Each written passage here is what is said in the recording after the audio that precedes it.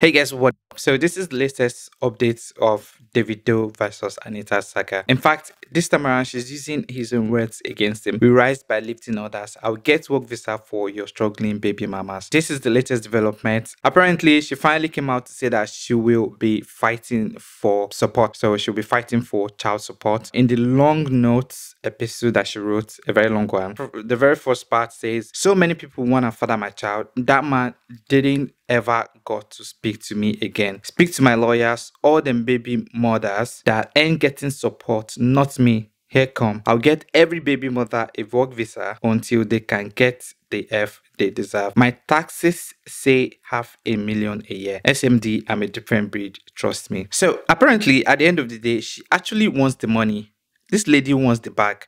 I mean, what is actually going on? Even if she wants the money, there is no need for all of this saga. This is a very long note. There is more. I will just scroll through just now. If you want to read all of it, all you need to do is just pause this video. Unfortunately, I can't read all of it to you guys. But point of being, all she wants is the money. After bragging, she has this, she has that, and she continues to brag, meanwhile fighting for child support. So this is the second part of the of the notes, more from the note. I mean, she wrote a lot of things and then she actually went on to, to say she would never want to marry Davido based on fact that he's he sleeps around and ends up bringing disease to her. And I mean, it's a lot of notes in here. The point of it all is that now she's out and she actually wants to get paid. Let me know what you guys think about this in the comment section. This drama keeps dragging on. This drama continues. I don't think it's going to be ending anytime soon. That is the latest update, and that's where she has this money. Let me just see some of you guys' reaction for this on Instagram comment section just now. Someone say, firstly, man should put a stop to disclosing information about their wife's family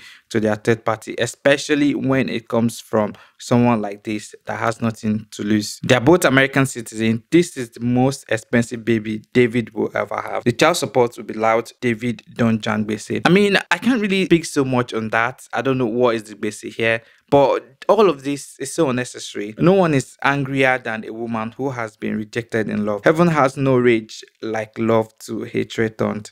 No hell, I fury like a woman's scorn. A few minute pleasure has turned into pandemics. Such irony. I actually want to take a look at this that says um, they are both American citizens. So, to the child turns 18 or you better keep making hits or go sign a hot artist called this girl would demand for a house uh, her child support to run into five zeros. You'll be mumu david an american taxpayer. Exactly. That's what i was saying. Is he going to be extradited to the us and be forced to pay all that child support?